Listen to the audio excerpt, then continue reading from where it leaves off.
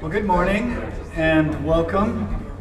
My name is Chon Noriega. I'm the director of the UCLA Chicano Studies Research Center. And I want to thank you all for taking part in this conference today. We've called this event Central American Refugees in Detention Rethinking U.S. Immigration. And we have a threefold goal. Uh, first, to broaden the public understanding of the current crises facing Central American refugees in the U.S. Second, to share effective tactics for achieving social justice for them. And third, to reframe current debates around immigration at large.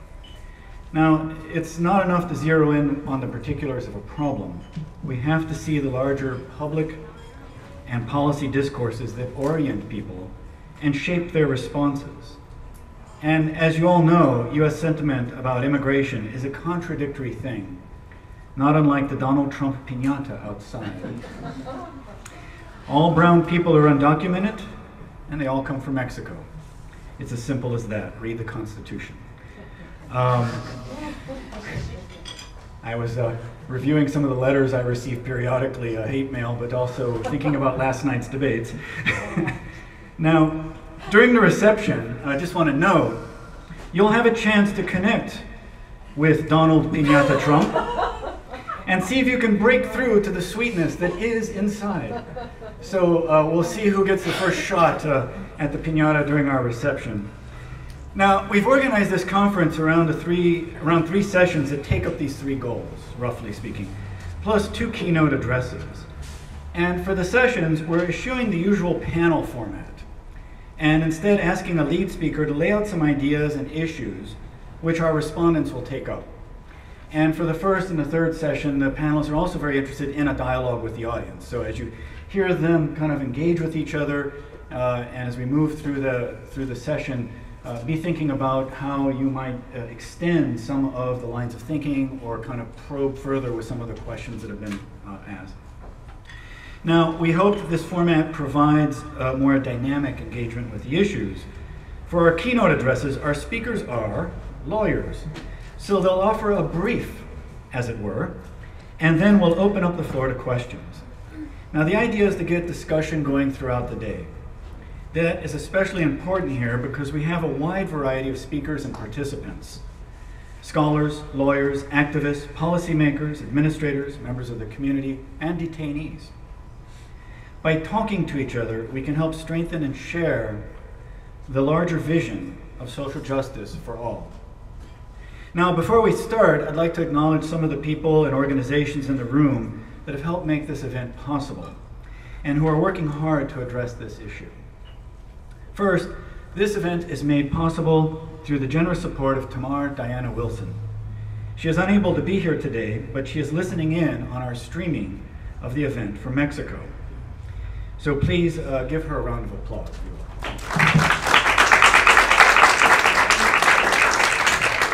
Now, the idea for this conference started in an extended email exchange between Tamar and myself, and she would send materials and we would kind of comment and go back and forth uh, and until really as her initiative, the idea of bringing people together for an event like this um, was formed and she offered her support.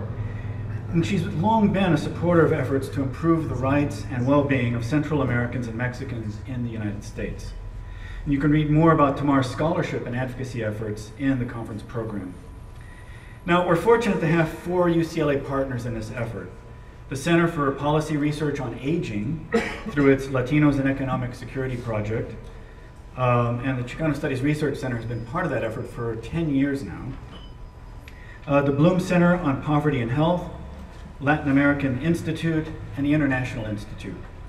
And off campus, we're proud to have Homies Unidos participating through their co-founder Alex Sanchez, and also for the center to be a co-sponsor of their Central American Youth Leadership Conference on Saturday, two days.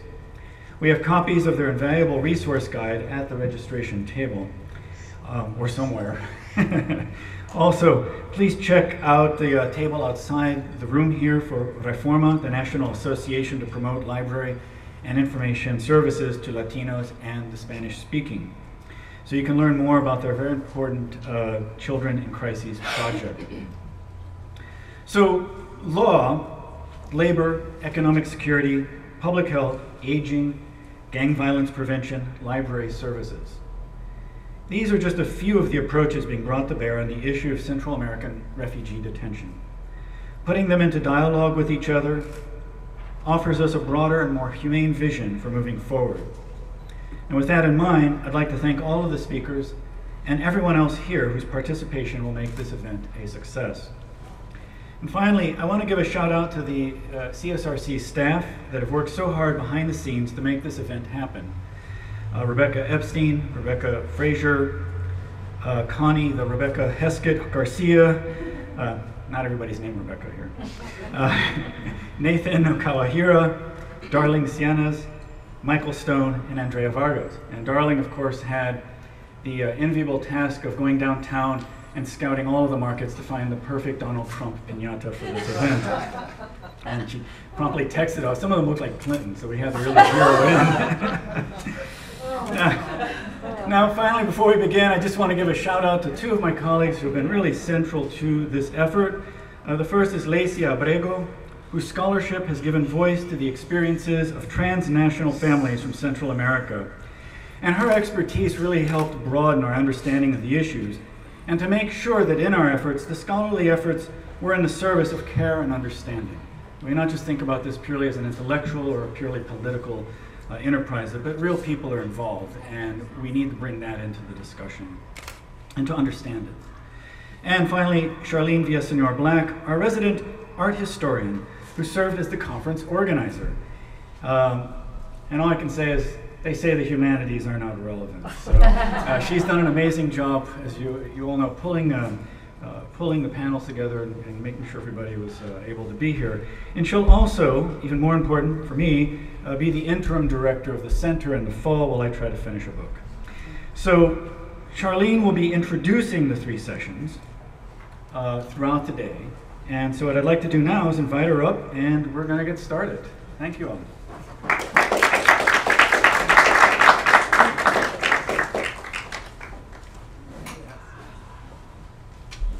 Thank you so much and uh, welcome everybody. Uh, I'm an art historian, uh, but I was uh, in conversation this morning. Uh, my grandparents were detained uh, in the first detention center in 1923 with seven kids for, for a year. So the topic, I'm an art historian, but the topic of today's conference is very personal very meaningful to me. I'm delighted to introduce uh, session one on legal advocacy, exploring strategies from scholarly research to expert testimony. Uh, and I'll begin by introducing our moderator, uh, David Hernandez, Assistant Professor of Spanish, Latina, Latino, and Latin American Studies at Mount Holyoke College, formerly of UCLA, and we still really miss you. Uh, his research focuses on immigration enforcement, and in particular, the U.S. detention regime.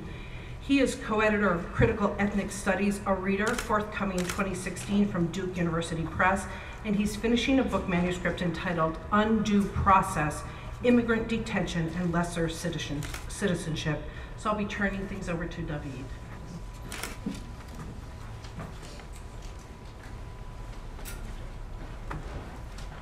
Um, thank you, Charlene, and welcome uh, to everybody here uh, to our first panel on uh, migrant advocacy. Um, before we begin, I want to share with you the structure of this morning's panel and how the dialogue will work. Uh, it's very simple. We will have uh, three presenters, uh, beginning with the lead presentation by Cecilia Menjivar, uh, and followed by two sets of comments by Stephen Manning and also Hiroshi Motomura.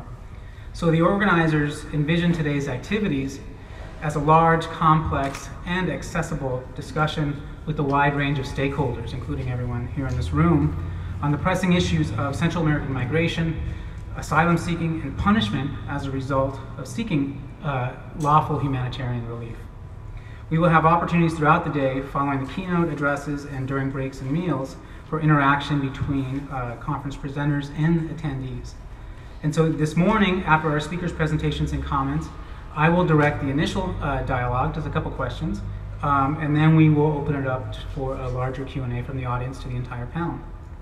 Um, so let me briefly, oh, I'm also tasked with keeping time, so you might see my signs, but probably not. because we've all talked about that. So let me briefly introduce our speakers. Uh, their biographies are in the program, uh, so please refer to this for more details. I'll be very brief. Um, first, we have Cecilia Menjivar. She is the Foundation Distinguished Professor of Sociology at the University of Kansas. Um, second, we will have Stephen Manning, who is a, an attorney and who is a partner in the Immigration Law Group and director of the Innovation Law Laboratory in, from Portland, Oregon. And thirdly, we have UCLA's very own uh, Hiroshi Motomura. Professor uh, Motomura is the Susan uh, Westerberg Prager Professor of Law at the UCLA Law School.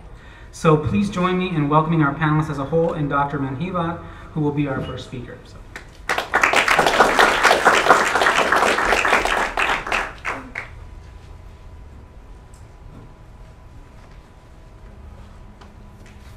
I'm not going to use this computer. Okay, I'll just put my Good morning, everyone, and thank you so much for inviting me to be on this, um, to be part of this conference, this very important conference. I think it's the only one of its kind. So this is a very special moment for um, Central Americans all over, I think. And, um, and to be part of this panel because um, this is this is my idea of a dream team um, to work uh, to be on this on the panel with um, legal scholars like Hiroshi and with Stephen Manning, whose um, whose advocacy and work I completely admire. So um, this is this is really very special for me, and thank you for putting me on the panel with them as well. Um, I'm going to respond to two um, general questions that um, Charlene posed to me that were very helpful in getting me to think about my place as an academic, as a sociologist, in the work that um, that that people are doing in um, for Central Americans in detention. So um, first, um, the first question is what role can scholars play in supporting legal strategies to aid the Central Americans in detention? So in brief, um, in these, my remarks may, um, may come um, as a surprise to some, but to others they may seem, well, this is what you should be doing anyway, sociology should be doing this. But this is not, uh, is not always the case in, in the discipline. Um, so in brief, I think we should be, we should be able to think about our work as enabling us to contribute to change the conditions in which the populations we study live. Kind of simple, right? It's supposed, this is what drove me to, to do the kind of work that I do to draw me to sociology. But it's not always so simple. So let me elaborate on this point by making use of a lens that, that, as a sociologist I have found useful and I'm very familiar with, and that is um, the lens of public sociology. This framework helps me reflect on the rather huge, huge task of changing the conditions of life for the populations that I care about and that are at the focus of my study. Um, Michael Burawoy, in his presidential address at the American Sociological Association in 2004, laid out what he thought public sociology um, is and should be. Um, so he said that one way of doing, there are many ways of doing public sociology. It's not just one, one way. So for instance, one can do public sociology by writing an op-ed piece based on the research we do. We write, uh, we reach a broad audience that way. We can even do public sociology through, um, through our teaching. When we teach, our students about the structural and historical conditions that shape the way who they are and that have brought them to, to the classroom. Um, but in Michael Burawoy's call to return to a public sociology, he made an impassioned appeal for a return to what he calls an organic public sociology. In his words, this sociology is, um, this is a sociology in which the sociologist works in close connection with the visible, thick, active, local public such as faith communities, the labor movement, and those who advocate for immigrant rights. So I think I'm very, di very directly following in Burawoy's call. in that I have decided to put my research to work for immigrant rights and to work with the volunteer lawyers who are so incredibly dedicated and passionate about the work they do, and in my view, lead by example. So this is um, how I have found this connection. And also, I should um, I should emphasize that I have found a niche to be able to find to to make my work relevant to a very specific niche, um, and that is the, the, the cases of women in detention. So that's my my one niche because that's the work that I've done. Um, but in order to do public sociology well, um, Douglas Massey, another sociologist, argues that one has to have an accurate understanding of the groups and structures one seeks to modify through our work, through action. In order to be effective, one has to first produce research and knowledge that is sound, that meets the, the, what is expected from our disciplines in terms of research that is scientifically sound, he says. In my case, I have produced um, a body of work that, that is relevant to the cases on which I have, I have worked. For instance, I wrote this book that um, that it's, um, it's the title is Enduring Violence, Lives, um, Ladina Women's Lives in Guatemala. When I wrote this book, um, I didn't know I was going to, to be able to draw on it, to be able to um, help in the cases that I have been able to help. I didn't know um, that my research, I knew that I was studying something important. I, the, the book is about the multiple forms of violence in the lives of, of women in Guatemala, but it, it, it, turns out that it has been relevant for Honduras and El Salvador as well. But um, at that time, I thought I could do, I could, I, I was already thinking about reaching a broader audience beyond academia. So I decided that I was going to donate all the royalties and all the proceeds from the book to the Global Fund for Women. And so all the royalties go to, to the Global Fund for Women because I, I like the way they do in supporting projects that lead to gender justice around the world. So I thought that was going to be my, my, my effort to go beyond academia. Little did I know at that time that I would be using the actual content of the book in, um, in the cases on which I have, I have served, I have helped. For instance, I had no idea that I would be explaining in court to judges my understand this, my explanations of violence in the lives of women. That, for instance, chapter four in the book, which deals with marital relations, was going to be introduced as evidence sometimes that chapter five, which deals with um, labor force participation in, the, in how sometimes the work of the women do is depreciated, um, was going to be helpful in making a point about that in another de declaration. So um, this work, I think, has helped me see my work in a very different light. Um, so I don't, I think the the benefits on, on one way have been, um, have been both ways. I have been able to put my work to help cases, but also the very work that I've been doing has helped me in multiple ways.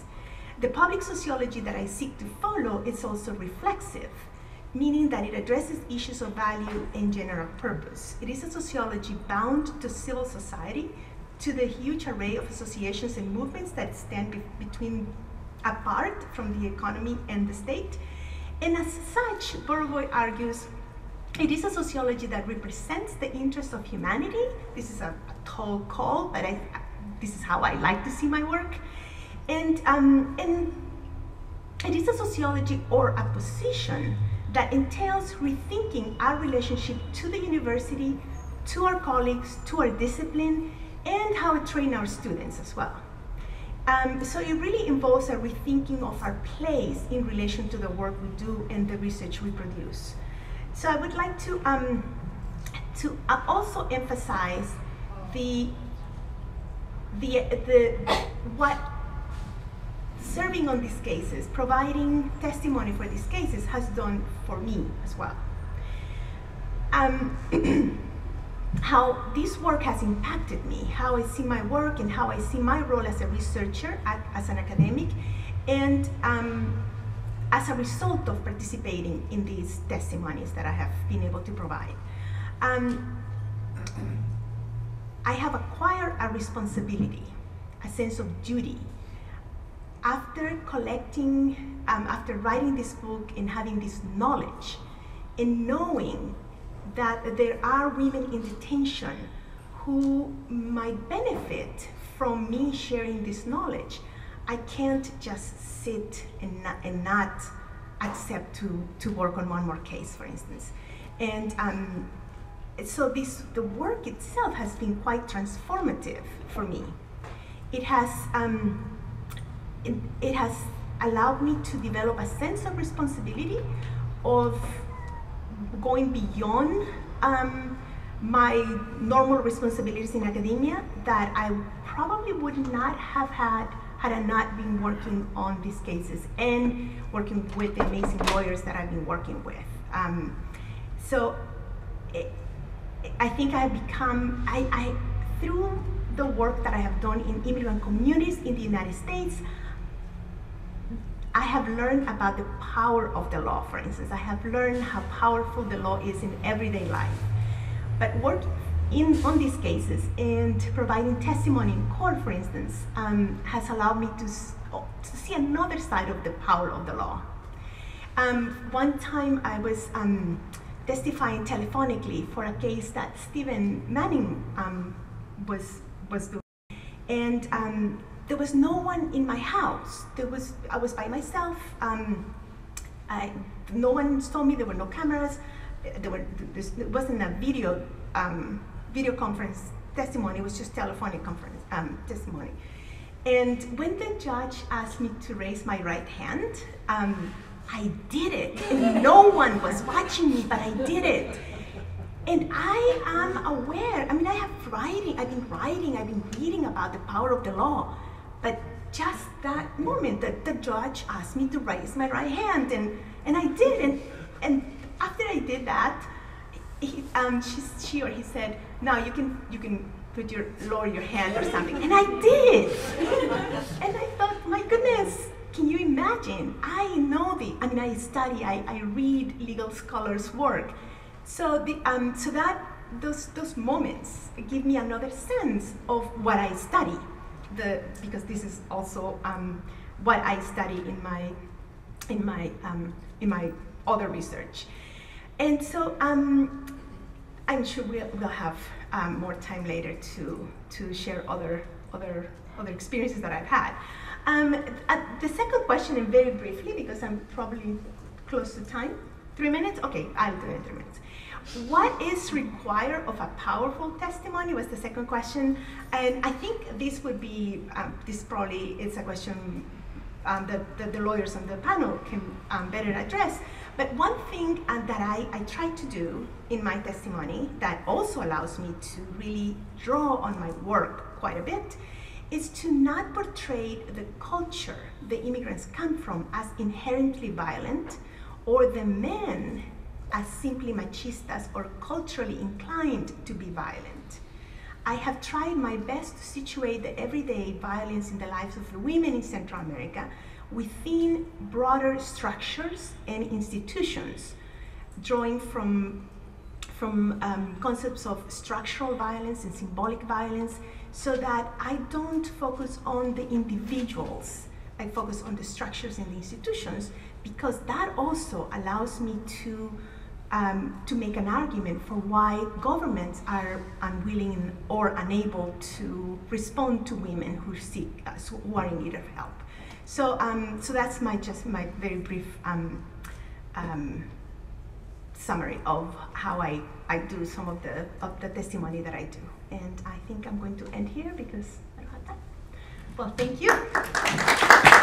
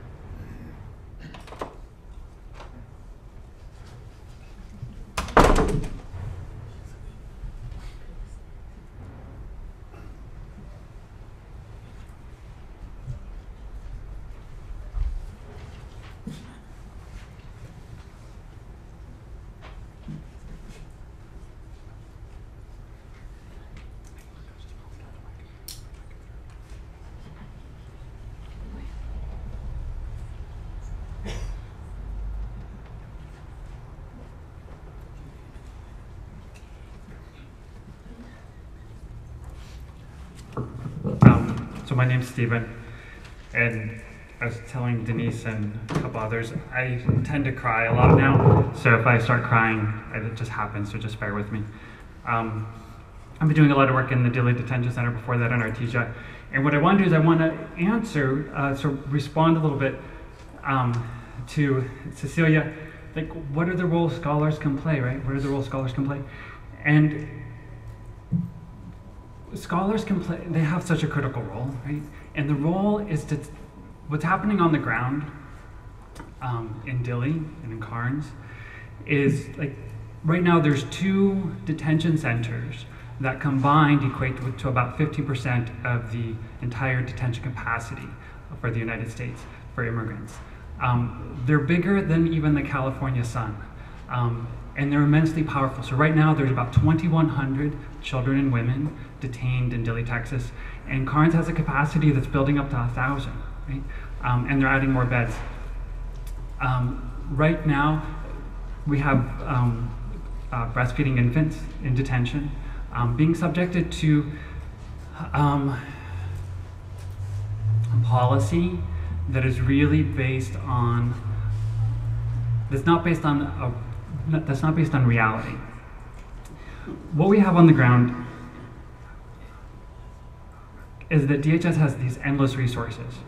They have more money than they know what to do with, and so they've decided that they're going to um, aim it right at Central American refugees, and particularly at women with children. Um, they have, it's $313 a head per day, right? That's what the government pays for every kid and mother that gets detained. Um, and so for the Corrections Corporation of America, that amounts to a billion dollars over four years. That's their contract. For GEO, which operates the Karnes City Detention Center, um, they get paid both when they're detained and when they're, they're released because the, that's Car or GEO owns Behavioral uh, Institute or Behavioral Interventions, which runs the ankle shackle program when individuals are released. So people get so they so these corporations make immense money, right? So that's a reality on the ground. The reality on the ground is that the federal government, um, and I'm a firm believer in good government, so I'm like not this is not an anti-government rant.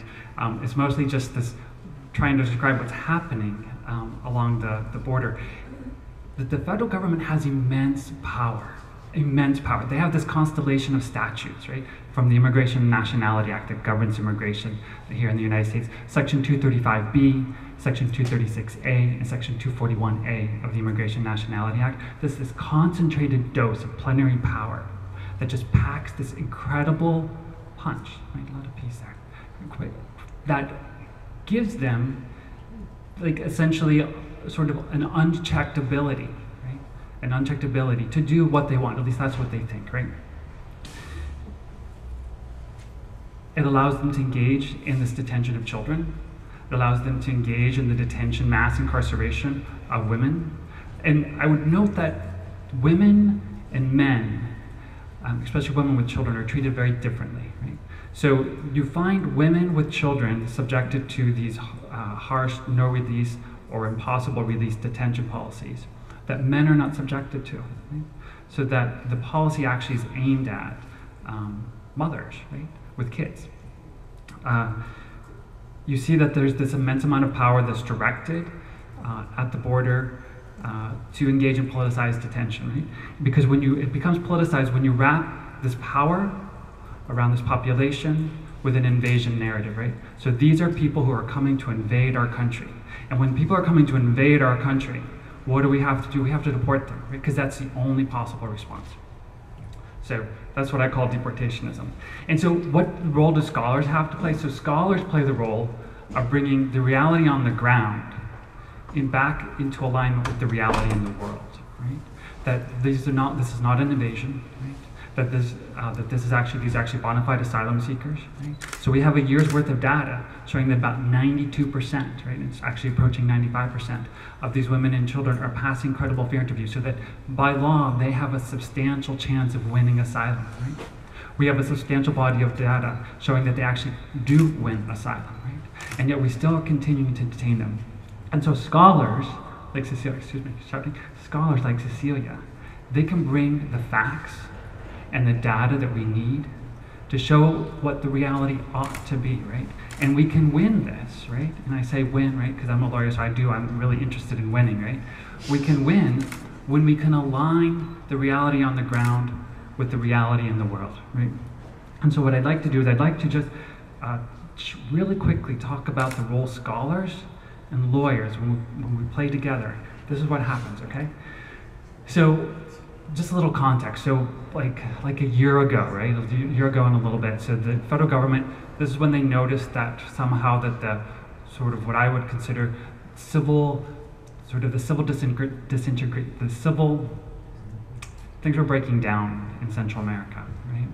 And the normal uh, rule of law that would constrain interfamily violence or that would constrain uh, gang violence was beginning to evaporate. It didn't have the power that it needed, right? And so as a result, a lot of uh, violence spiked, right?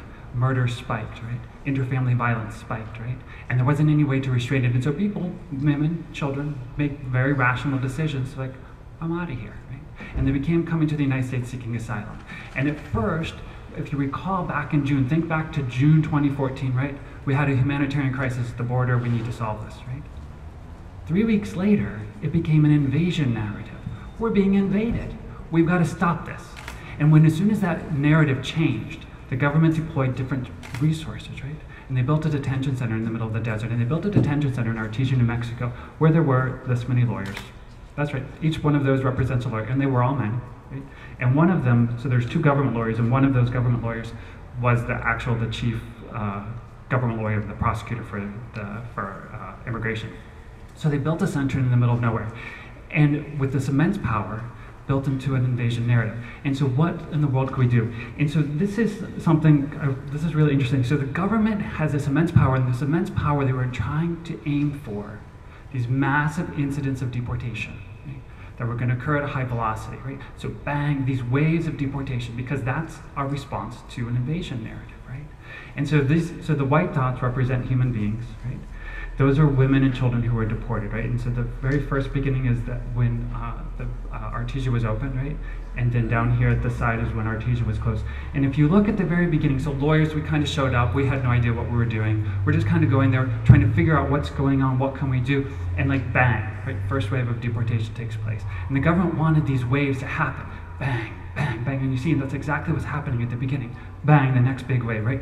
At the beginning, the lawyers were working on a one-to-one principle, right? So, like if I'm a lawyer and I'm representing my client, I have just as much power as my client has because I just am channeling that power. And as I just explained, there's people have very little power at the border, right? Because if there's three statutes and this doctrine called plenary power and this invasion narrative, right? So our clients had very little power. And if we were to continue to kind of operate on that one-to-one principle, what we're going to find is that the government was going to win. They were going to win with that immense power. And so we began thinking, okay, we need to do something different here. And we need to begin trying to find can we find power that's not just within the Fifth Amendment due process clause? Can the lawyers create power for themselves to help end the removals, to help like slow the deportations? And so at the beginning, we were operating on one to one, and you see the next bang, the next wave, right? And then we begin operating collectively. We begin reaching out to Cecilia. We begin reaching out to Nestor. We begin to reaching out to lots of different scholars, collecting information. Denise, working with Denise and the folks in Karnes, working together collectively, right? To begin creating not just one to one, but the lawyers themselves were gaining power outside of the Fifth Amendment. And we would do that by creating procedural like process, right? Because that's what lawyers love process. So we would create process. We would build ourselves into the detention center, right? We would actually create an office in it. And when we do that, look what happens, right? So within just three weeks, we have a space between the next wave. So it wasn't happening week after week after week, right? And then look what happens. The next wave is three weeks away and it's smaller, right? And then look what happens. The waves pretty much vanish until right around here at the end when the lawyers go away, right? Because it's Thanksgiving, right? Lawyers go away, and look what happens. The deportations bloom again, right? And so, lawyers working together with scholars, right? lawyers working together with scholars, were able to reverse that, that power dynamic, right? And build power to suppress the removals, right? Over the course of six months that Artesia was in existence, essentially, right? Um, there were 1,200 women and children that were detained in that center. And with 14 lawyers on average, so this is week by week, 14 lawyers on average on the ground, right? We were able to represent all those people. Right? So 14 lawyers, and so that would represent all the different the different times each week. And so what we'd do is like lawyers would come down, they would work for a week, work on a case. So lawyers became these fungible commodities. We like to think we're so important and so special and so great, but we're actually pretty fungible, right? And the important person in the relationship is the client, right? And the scholars, right? The client and the scholars. And the lawyers, we just can we can do our work anywhere really, and we don't need to. I don't need to do the work. And so at the end of my week on the ground, I would rotate out, and another lawyer would take my place, pick up where I left off, and carry it forward, right?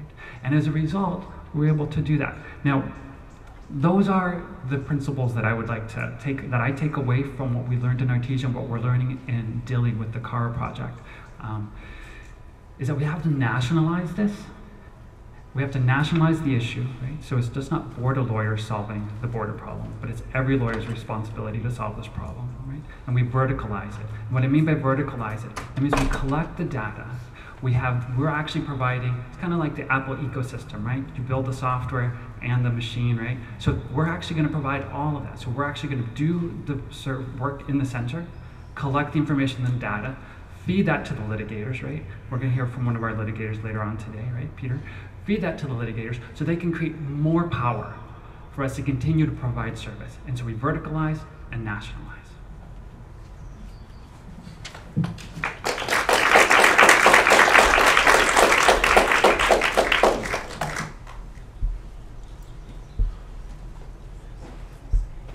try to make David, David's job easier, uh, I'm going to start a stopwatch here. But um, also reminds me, once I gave a talk and I set the stopwatch for 10, 10 minutes, but I thought it was for 10 minutes. I actually set it for 10 hours. and then I, okay.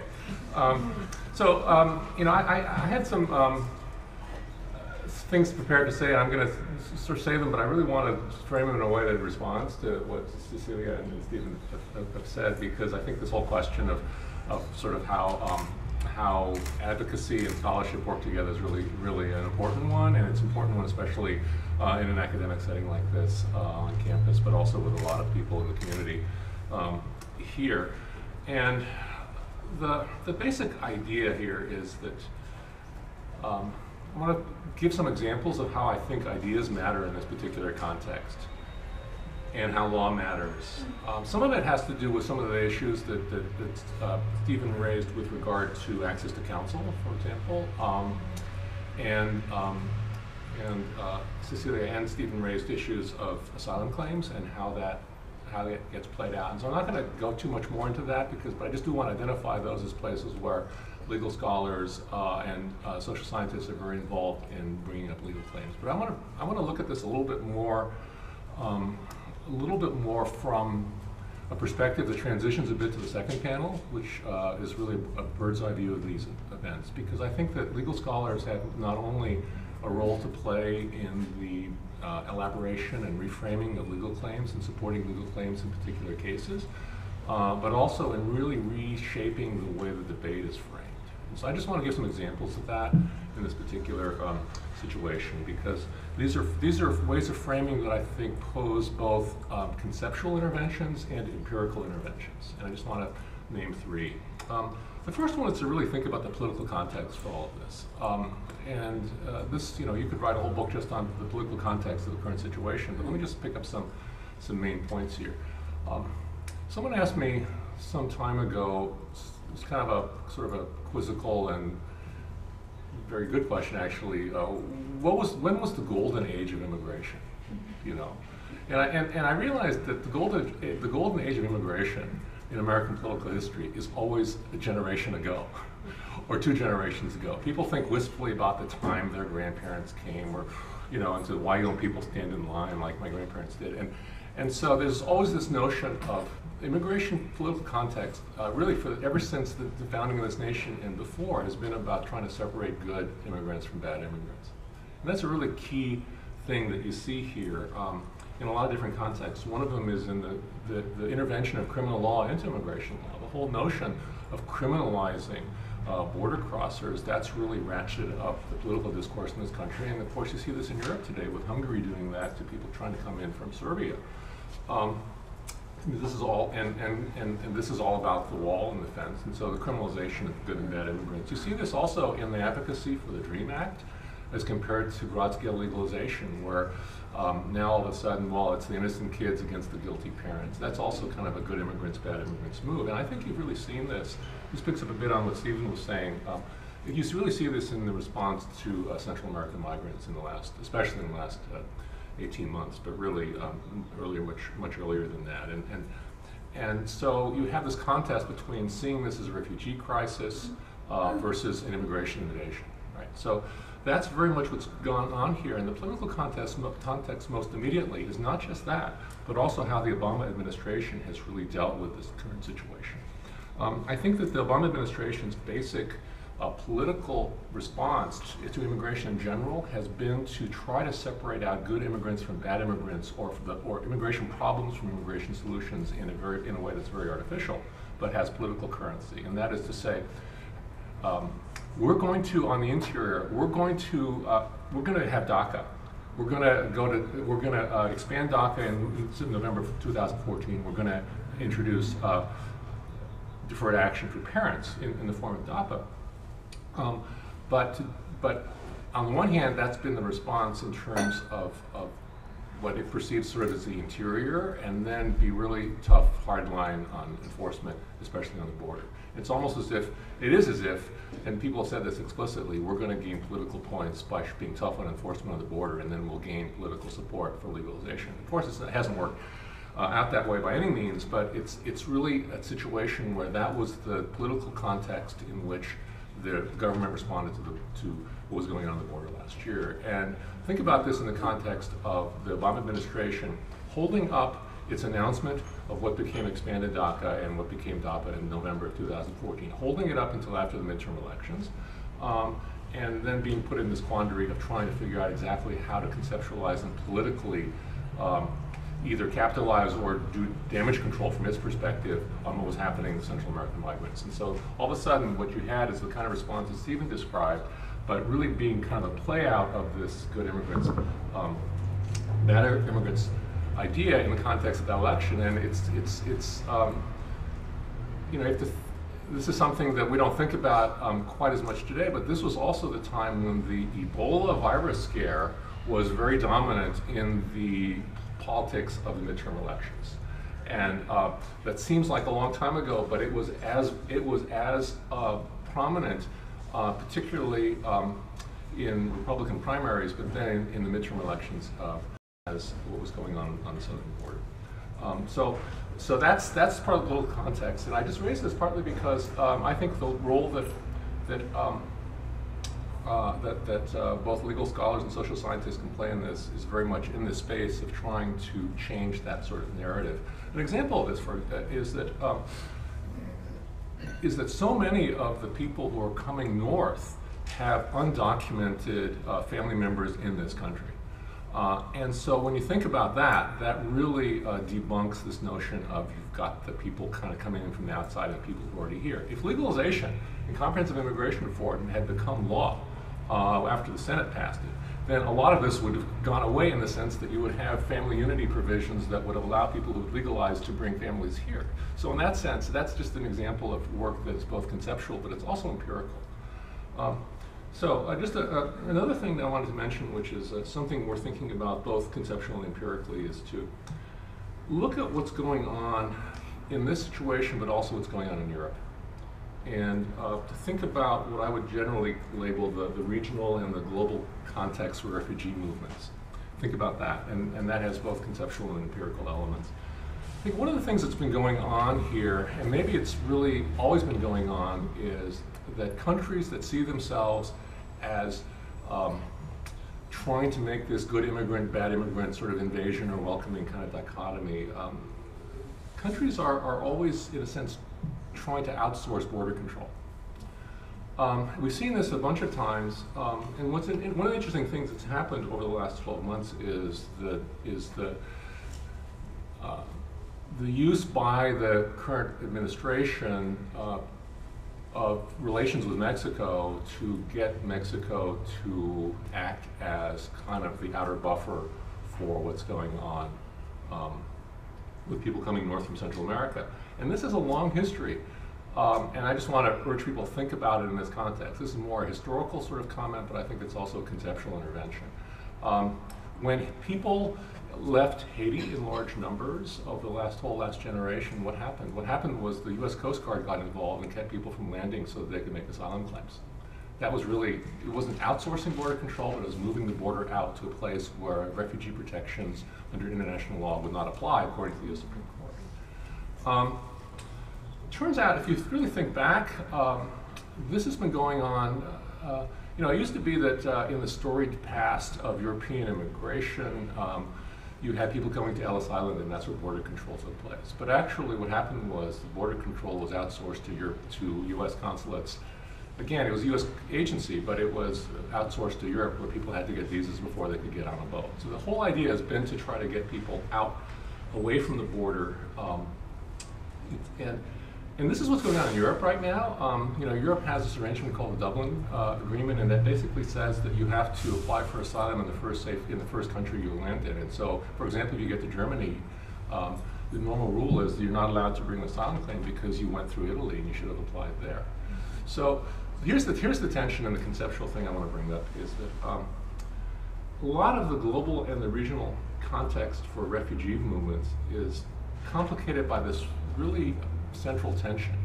On the one hand, on the bad side of things, you've got um, countries like the United States really trying to rid, as they would think about it, as the government would think about it, rid itself of obligations or make sure that obligations um, aren't called in uh, by, by under international law for the, for the uh, I think the, the majority of, of people coming in who should have valid asylum claims. Uh, so there's this real danger of allowing this kind of um, outsourcing of border control to take place. But the tension is that a lot of the solutions are regional. Uh, this, the tension is that a lot of solutions are in trying to think about this in terms of regional economic policy, in terms of our relationship with Mexico and Central America, uh, and that's really where um, that's really where um, I, I hesitate to use the word solutions, but that's really where sort of the, that's the only way to think about this in a way that it's going to work, but that's going to require this country to really rethink its entire relationship historically and currently with Latin America. And that is, that's something that is politically um, been really hard um, to do. So I just want to identify that um, as a basic tension. So these are just two examples of things where um, I think ideas do matter, um, and I do think they matter on the ground, and I think it's important for scholars to both think about this conceptually. I think that we can change the terms of debate, but I also think that we can frame issues in a way that lend themselves uh, not just to conceptual, but to empirical work to fill out questions like, what is actually the connection between people coming to the United States and people who are already here and have been part of, the, part of communities here?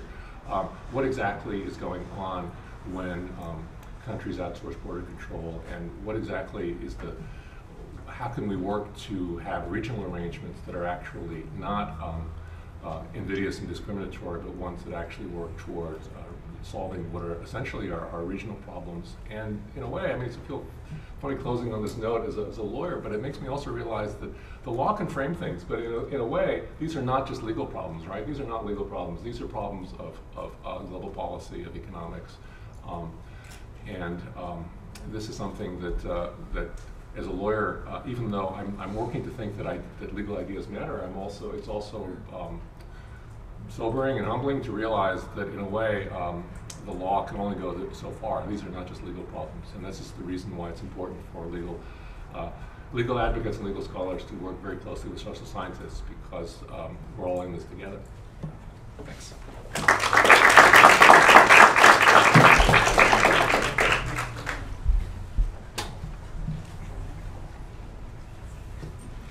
Um, well, thank you. Uh, this, is, this is a great way to get the, uh, uh, the, the, morning started and, and, to, and, to, propel our day. I wanted to ask a couple questions uh, before we open it up to the audience. And, and, I wanted to follow up on, on Cecilia's initial conversation and what everyone talked about is the merger of, of the working together of scholars, but also um, uh, lawyers, uh, community members, but everyone who falls under the, this larger category of advocacy.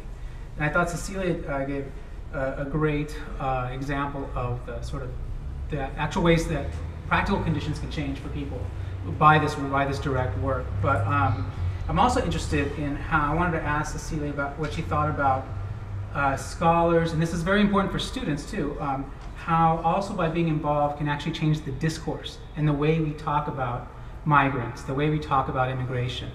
Uh, and this could be around uh, uh, her own work on, on the discussion, the, the definitions of violence, on uh, the notions of quote unquote illegality, or even the definition of family. I mean, a lot of this family detention stuff is focused on women and children, you know, and there's lots of forms of family out there as well that, that are involved. So, uh, so if you could return to the original question, Cecilia, but, but about discourse as well, as well as the practical conditions. To, to, to Yeah, you can. um, how we change the conversation, how Yeah, we change the language, the conversation. the language. I, I think um, it is if we're going to change the language and the conversation in our research circles, we we have to um, do it in that context, um, to do it through our writings, through so that people become aware that this is uh, the the taken for granted definitions may not always apply. That there are that new immigrants, new immigrant populations are probably reshaping um, the way we think about immigrants and refugees, the way we're thinking about violence. Violence is not always physical force. Um, so it, I think as academics, we, we have to start in our home territory, so to speak, and write um, in our research about that. And then we can take it um, outside academia. But as that is our primary home, that's where we need to start, so that the conversation within academia can also change. Thank you, thank you. Uh, second, I had, I had a question for uh, Stephen, kind of a, a, a framing question along the lines that, that Hiroshi had spoken. And um, uh, the, the Secretary of, of the Department of Homeland Security, Jeh Johnson, still refers to the, the Central American asylum seeking as a quote, illegal immigration. And um, if we were to highlight uh, migrants' actual existing legal rights, including seeking asylum, especially seeking asylum, how would this change the tone and even the practical responses to Central American migration? It would be awesome. um, because here's the thing. Like when we think like it's an invasion, our only response is like, dude, we need to deport, right? But if we think, okay, these are women, because so the law, here's an interesting thing. To file for asylum, you have to be physically present in the United States. You can't be anywhere else, right? You can't, there's like, you can't just show up at an American consulate abroad and file for asylum. It doesn't work that way, right? It, you have to be here, right? And the U.S. has no refugee processing, right? So we do refugee numbers. We do no refugee processing in Central America. We have this little thing where you get like there's 1,500, like for like kids. I don't know, but we've done it a couple times and they just get denied. So you have to come here, right? And so we have there's international law, right, that says, hey, you can seek asylum, right? There's a right to that. And you have a right, if you're on the U.S., to come to the U.S. and actually file for asylum when you're in the U.S. So these women, they're in compliance with the law. They're showing up and they are turning themselves in. They're showing up and they may be being apprehended and they're filing for asylum. That is complying with the law. If we were to think, oh, instead of just deport, right? Let's say, hey, what can we do to make sure everyone stays in compliance? Because that's how we're going to enforce our law. We're going to kind of help these women, help these children, help all the asylum seekers, right? Help all the people, all the immigrants, really, to comply. And we can do that by not necessarily detaining them, right? We don't have to detain to get compliance, right? We can say, okay, look, here's your rights. You have a right to file for asylum, right? Here's what you need to do. And if we have, if we take this compliance narrative and move it away from the deportation narrative, right? A whole range of possibilities open up. And we are blind to those right now because President Obama has declared them to be unlawful migrants and Jeh Johnson is following in that line. Thank you, thank you. Uh, and one question for Hiroshi. Uh, uh, you know, I was watching the, the debates on the plane last night, um, uh, for some laughs, of course, and um, but I was struck by how actually a lot of the Republican candidates talked about the difference between visa overstays and persons um, crossing the border, entering, entering without inspection. You know, that usually the, the presumption is everyone came here uh, without inspection, swam across, came across them. So I was shocked by that. I was, I was, so I wanted to ask Hiroshi, um, what do you think the effect, and that's relatively new, I think, in, in the super general public discourse. What is the effect of decades of border enforcement as the sort of central framing device uh, for all things immigration related? And, and um, what are the limits of this frame uh, and how this treats all migrants as if they just ar- arrived? Well, I hope this is responsive to, to what you're saying and, and follow up if it's, if, it, if it's not. Um, I think that the politics of immigration really um, creates a space for people, I guess like Donald Trump, to try to find the simplest solution possible that fits the neatest soundbite. And so we've really seen this in its most extreme version where if border control is too subtle, let's take citizenship away from people. That would be more clear. And so I think that um, the idea of having a bigger wall or a taller fence um, fits into this idea that if you can um, come up with a simple solution that basically scores political points in a rather short election cycle, that that's the space that someone's going to occupy uh, in the politics of this. So uh, I just mentioned Donald Trump as someone who's really, um, really raised the question of citizenship, and he's not the first one to do this. I mean, in a sense, this has been part of American history to deny citizenship to African Americans. Um, and that's really um, so central, I think, um, in American history. And so, you know, if you can't, if you can't talk about someone's rights, it's better just to decide they're not here, they're not, they're not people, um, in the sense of recognized by the, by the state. Um, so then your question about border, uh, visa overstays. I think that once you get to this question of visa overstays, uh, then, you know, you start getting into, I think, the reality of this, which is the historical line between the legal and the illegal in, in this country, um, and in American history, and especially in the last fifty or sixty years, is very blurred. Um, you know, I, I, I, um, you know, I often, so, so I, I have this book about undocumented immigration, and I actually thought about, um, there's the first chapter of it is, is called Undocumented or Legal Question Mark. It's, it's meant to be complicated, but I, I really sort of, I've often thought I should have titled that chapter, The Parts of Illegal I Really Don't Understand. So anyway, it's- it's a kind of a long answer, but I'm just saying that this is, it's important to think about the politics in which the, the, the target is citizenship versus border control versus something more, more relatively subtle, like visa overstays. Great, thank you. Um, we have a little more time, so we would like to open it up to some questions from the audience. And please direct it to whoever you want to. Sure, hi. Uh, This, my name is Michael Rodriguez, and I'm from the School of Medicine at UCLA. And I want to uh, applaud the audience uh, and the, the panelists for excellent presentations. Um, And one of the things that I want to underscore and, and that I appreciate is the, the point that you make about the importance for collaboration across disciplines. And for me, that helps, that underscores that this is a complex issue. And because it's a complex issue, it really requires a comprehensive approach. And your focus on addressing different ways of responding that may be helpful, I think is extremely also appreciated. Uh, I'm from the health perspective. And so I, I wanted to sort of just uh, get your thoughts on some of the health narrative around this. One of the aspects that has been happening, and it was interesting that the topic of Ebola came up, because at times the, the, the topic of Ebola was used as a form of, of scaremongering.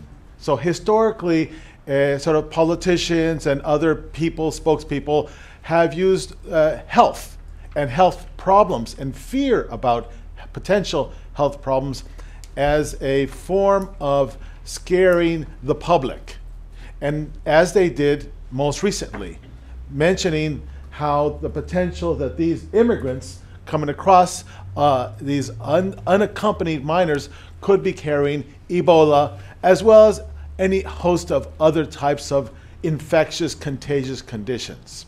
And now these are false without any kind of support at all. and uh, we've been working, I've been working with other sort of types of health national organizations to sort of see if there's a role for health to be a partner also, so that these types of claims are actually addressed in a very formal way or responded to effectively to, to help to prevent them from happening um, in the future. So I just wanted to get your thoughts about uh, sort of another, this other partner, some of these other sort of ways in which folks use uh, the claims to scare uh, the public uh, and, and also to change public opinion in order to sort of have it be more of an enforcement as opposed to inclusionary. So, thank you. Well, and I think, Michael, that, that's really important, and when I use the phrase social scientist, probably, I probably meant, you know, everybody. um, uh, but, uh, but, you know, I mean, we're all social scientists, right? I mean, we're all doing, I mean, that kind of critical work is super important, especially in response because this health thing has always been part of this, right? I mean, this has been, when you look back at the first immigration laws, they really focused on, um, on, uh, on health or perceived health issues. In fact, you know, the, the, the exclusion for, uh, for, for, based on sexual orientation that was actually part of the United States law until 1990 was really phrased in health terms. It was, not, you know, it wasn't, didn't use words like homosexuality. It actually used the word psychopathic personality, and then it was really something where the public health service was the agency that was assigned to enforce that. But let me just raise another thing, which is more about, it could be a question or to, to you or, back, or anyone else, but it, there's an interesting kind of a risk here, and this goes back to this good immigrant, bad immigrant thing. Um, in, in, in, some way, it's it's a the risk is what kind of arguments we make. I think back to the argumentation against Proposition 187 in California, which was a strong anti-immigrant initiative in California that passed. Uh, was later mostly struck down by the courts, but um, it was California in 1994, and much of the argument from the immigrants' rights community against Proposition 187 in 20 years ago was was like we need to um, we need to give public health to uh, the undocumented, or we need to educate the undocumented because otherwise they will blank. And it, it, it, it's always mm-hmm. it's a way of really marginalizing uh, immigrants and saying the reason that we need to provide health education is uh, because not because because it's it's it's it's it's um, something that people have, have, have earned by contributing to this community uh, or as a human right, but because somehow it's going to hurt us. And so that's a real danger to make the argument that we need to recognize that there's some public health issue that if we broaden, broaden the health care, that um, the people already here are the, are, the, are the principal beneficiaries. There's a certain danger in that argument. It's not that different from distinguishing between um, innocent children and guilty parents in this, this bad way.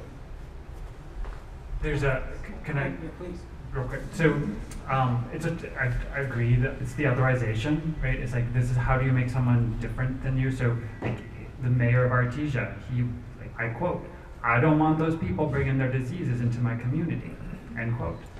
And that each time we want a release of an individual, right? That he was like, they can't stay here because I don't want those diseases. And there was I don't they were reporting in the paper as well, like what the, like, was there a new incidents of chickenpox or whatever? Thank you for the informative panel. Um, we just went through another 9/11 celebration as a country, and some of us remember talking about how what was going to follow 9/11 was not going to be exclusively nor primarily about Arabs, Muslims, and South Asians, but that there was a larger raison d'etat, reasons of state at work, right? Some of us were very clear on that, especially those that were students of surveillance. If you look at the legal regime that was constructed following 9 11, it's pretty clear that it was not primarily nor exclusively about Arabs, South Asians, etc. Using the same kind of logic, legally, and for anybody on the panel really, um, is there a possibility that what the legal foundation they're laying with Central American families and children may have something to do not just primarily nor exclusively about Central America, but it maybe has something to do with what some of us are seeing around climate change. There are about a billion people that are expected to be um, uprooted and having to migrate from their homelands between now and around 2050, more or less. And so the Pentagon, if you look at the Pentagon and other US agencies, they've been doing their homework, visiting. I've been with them in international migration conferences. And they're there, they're whispering in the ears of European states that are doing what they're doing, they're Syrians, etc. And they're with the Latin American states telling them what to do, what they'd like them to do, because, so I wonder, is there a possibility that they're really using the Central American kids and the families to lay a, a foundation for something much bigger than 60,000, 70,000 women and children?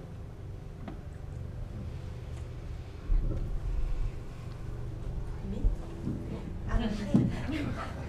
Okay, um, very, very quickly, so that we can take all the questions. Um, I, you know, I had not thought about it in that way. Um, my thinking is, when I think broadly, I think about um, the role the United States played in creating conditions of violence in Central America historically.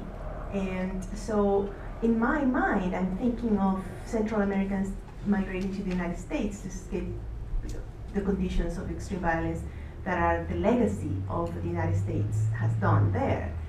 And so on the one hand, um, these bigger structures that are shaping their lives are very much connected, of course. And so I, when I think broadly, I think along those lines, but I, I, I honestly have not made the connection with um, climate change or, or other, other, other, other forms of broad thinking about this.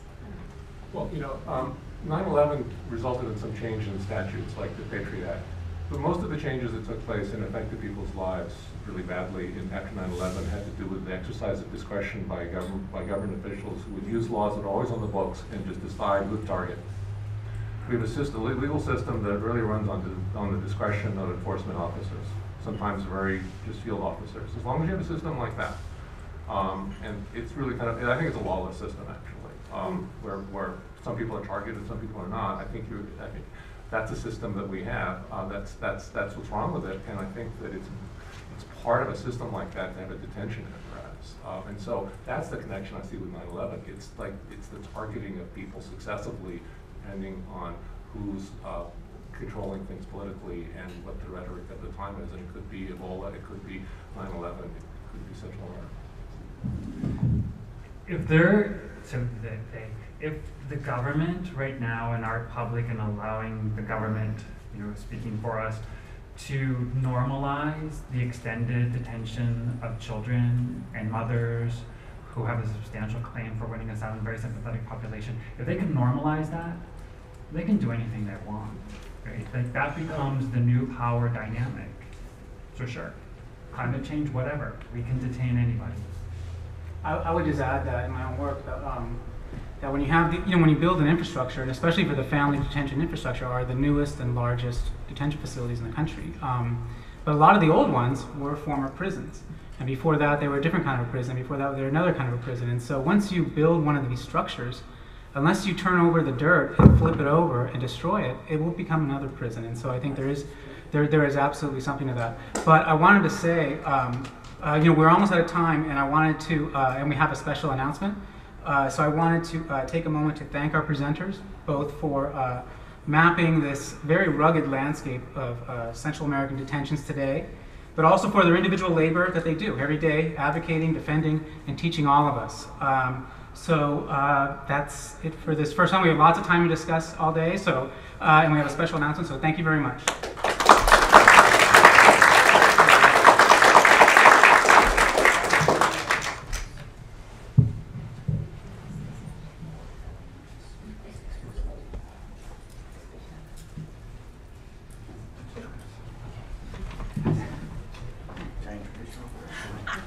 Good morning, everybody.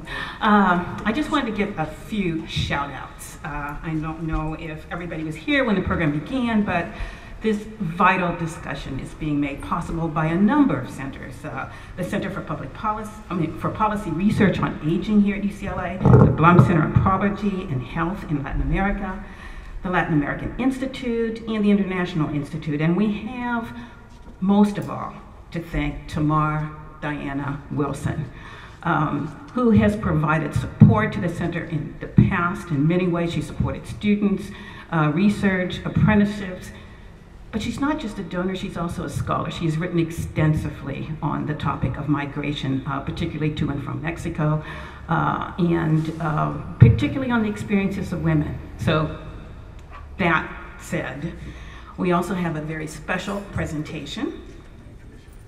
Oh, okay. People, this is my boss. I guess you want to know who I am. Why am I up here?